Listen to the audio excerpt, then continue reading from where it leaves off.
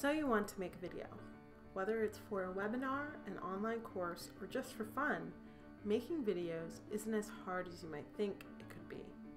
I'll even dare say, it's easy.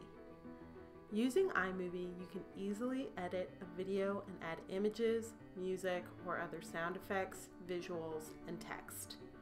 iMovie is a great tool for the beginning to intermediate editor. You can also share your videos with a variety of web-based platforms, including iTunes, YouTube, Facebook, and Vimeo. Want to know more? Let's explore using iMovie and YouTube together.